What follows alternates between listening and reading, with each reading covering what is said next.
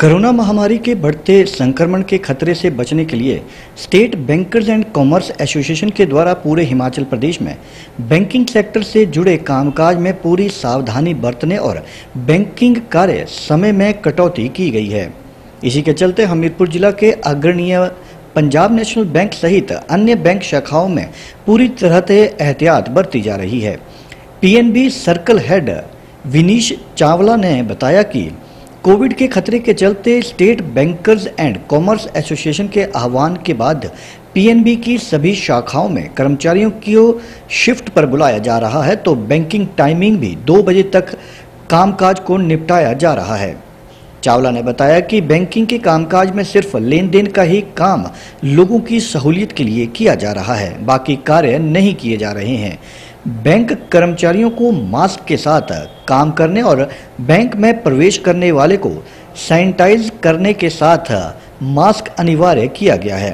उन्होंने बताया कि अगर किसी बैंक शाखा में कोई कर्मचारी पॉजिटिव आता है तो शाखा को पूरी तरह से सैनिटाइज करने के साथ साथ आगामी 48 घंटे के लिए बंद किया जाता है। जिस दौरान काम करने वाले कर्मचारी को कोरोना टेस्ट करवाया जाता है।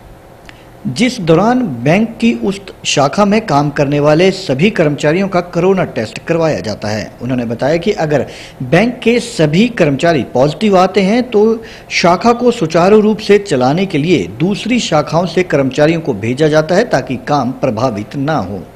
जहाँ हिमाचल में जो स्टेट लेवल बैंकर्स कमेटी है, उसने गाइडलाइंस इशू की हैं कि बैंक में अभी कुछ दिन के लिए बेसिक सर्विसेज़ ही प्रोवाइड कराए गए हैं, जिसमें जमा कराना, पैसे खाते से निकालना और रेमिटेंस अभी यही है। और बैंकिंग आर्ट्स भी थोड़े से कम करके पब्लिक डीलिंग अभी 10 से 2 तक कर दी है। साथ ही ये भी हमें बोला गया है कि कोशिश करें हम स्टाफ को रोटेशन से बुलाएँ। 50 परसेंट तक का ही हम एक बार में प्रेजेंस करें स्टाफ को। तो सारे bank including Punjab national bank इन गाइडलाइंस का पालन कर रहा है। शाखाओं में पूरी साफ़ सफ़ाई रखी जा रही है। सोशल डिस्टेंसिंग का पूरा ध्यान रखा जा रहा है। हर एक एम्प्लॉय मास्क लगा के काम कर रहा है और वो ये रिक्वेस्ट कर रहा है कि जो कस्टमर सेवा लेने आए, वो भी मास्क लगा के गाइडलाइंस ये है कि इमीडिएटली एक बार हम ब्रांच को बंद कर देते हैं। उसकी पूरी सैनिटाइजेशन होता है। ब्रांच का साथ में अगर ए है तो उसका भी। सारे स्टाफ का टेस्ट होता है।